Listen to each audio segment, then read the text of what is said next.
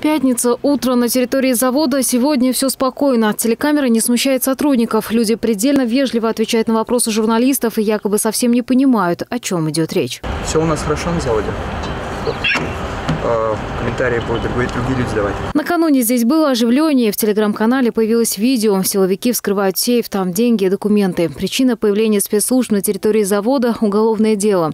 По данным следствия, на предприятии незаконно следили за сотрудниками и гостями пивоварни. После личной коммерческой информации попадала в пользование определенного круга лиц. По версии следствия, на одном из предприятий города Оренбурга негласно а, с помощью скрытного монтажа специальных технических устройств осуществлялся сбор информации, который носит а, и представляет собой коммерческую, а также личную тайну. Возбуждено уголовное дело по факту оборота специальных технических средств, предназначенных для негласного получения информации. Возможно, эти данные использовались для привлечения новых адептов секты. По одной из версий работников завода проповедовали саентологическое учение, приглашались коучи, проводились тренинги. Сами сотрудники завода комментировать происходящее отказываются.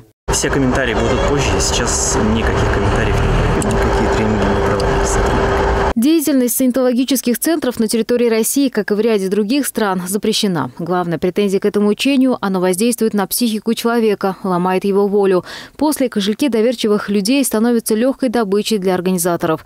Саентологи пытаются привлечь новых последователей, предлагая прийти на бесплатную экскурсию или пройти безобидный тест. Затем следуют семинары, обучение, психологические беседы, где клиенты изливают душу. Как правило, такие встречи записываются на диктофон, а собранные компроматы используют для удержания содержания человека. Долгое время в России последователи учения пытались признать саентологию религиозным течением. На деле же это коммерческая организация. Самый громкий процесс в нашей стране проходил в 2016-м. Тогда Верховный суд России признал законным решением Мосгорсуда. Саентологические центры в столице, а также в Санкт-Петербурге закрыты.